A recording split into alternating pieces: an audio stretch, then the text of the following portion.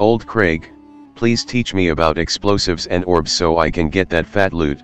Baby Turtle, all you have to do is watch this video to learn about explosive and orb damage. Now go forth to freedom.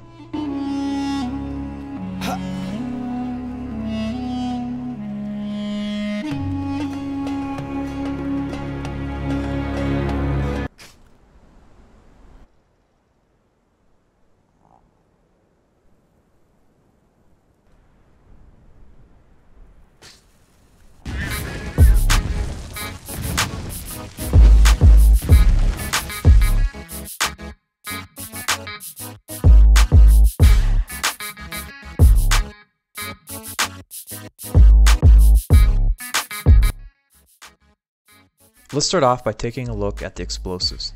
In each setup I centered the explosive on the foundation. The max damage was caused to the foundation that was touching the explosive. For more details on explosive damage spread, check out my other video, Explosive Damage Guide Part 2. As you can see here, the damage is not consistent. The center right foundation takes max damage in the first two setups, but less in the third and fourth.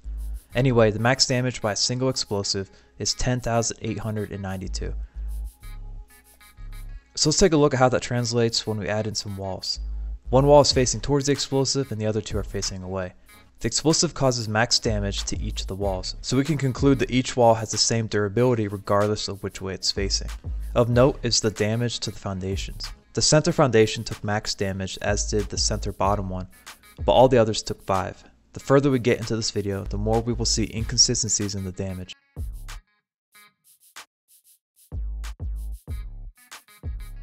If we add in a door and a door frame, we get the same results. The door frame and the door took max damage. Another anomaly, the left bottom foundation took around 8k damage while the other foundations only took 5.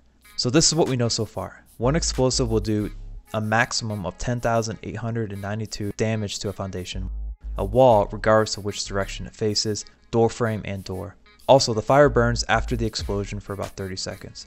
So let's pause with explosives and take a look at fire, grease, and gas orbs. I performed the same test as I did with explosives, but the results were more varied. This is probably due to the spread of the orbs and where the majority of the substance actually landed. If you played Conan before, you're probably familiar with orb stacking. That is, throw multiple grease orbs to increase the damage from a fire orb, and then continue to grease the fire to extend its duration. Sad news, that function no longer exists. I first tested one grease and one fire orb which inflicted 2,739 damage, which we'll use as our max damage for the fire orb. I then threw two grease and one fire orbs and it did 2,745 damage, essentially the same as a single grease and fire orb. I also tried to add grease to an existing fire, but it did not extend the duration of the flame. When I tried 3 grease and 1 fire, it actually decreased in damage for only 2,743. Again, the fire burns for about 30 seconds, just like the explosive. Before trying gas orbs, I tried to combine grease orbs with explosives. The most important takeaway here is that the explosive does not set the grease on fire. If you throw a grease and it hits the explosive, it will set the explosive off, but the grease will not ignite. I did see a slight damage increase for a total damage of 13,631 when I threw one grease, placed an explosive on top of it, and then hit it with a fire orb. But the setup was tricky and overall not worth the minimal extra damage. Now moving on to gas orbs, I repeated the steps with the fire orbs and found the max damage to be 2660, which is slightly less than the fire orb. And just like the grease orbs, stacking gas orbs had no extra benefit. I even stacked 10 gas orbs and the damage was only 2669.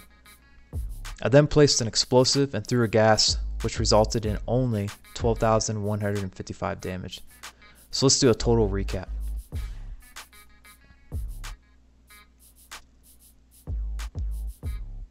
Now let's test these max values and see how many of each type it takes to destroy a specific structure. According to calculations, it should take this many explosives to destroy each of these tier 3 structures. Placing one explosive at a time, it took me about 6 minutes and 30 seconds to destroy all the structures. In all, to destroy all of these pieces, it took 9 explosives. I then decided to place 9 explosives all at once to see if this was a quicker way to cause damage, and this is where I ran into some difficulties. The game would occasionally let me stack explosives on top of each other, while other times preventing me from placing them within a foundation length of each other.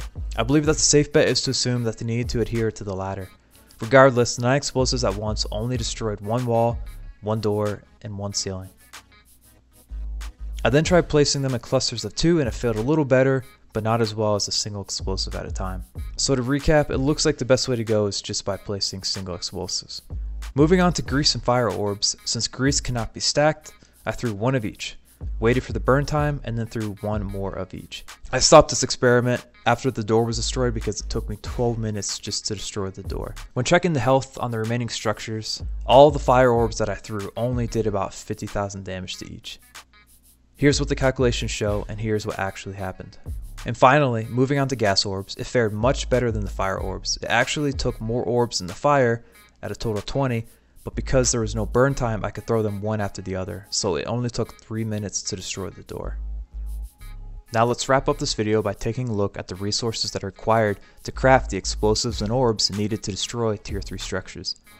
Starting with explosives, for base ingredients you'll need 110 brimstone, 50 crystal, 2 demon blood, 615 hide, and 50 stone. Moving on to grease orbs, for base ingredients you'll need 2 crystal, 1 ichor, 12 hide. Up next, fire orbs. For base ingredients, you will need 2 crystal and 5 volatile glands. Finally, to craft a gas orb, you will need 2 crystal and 10 puffball mushrooms.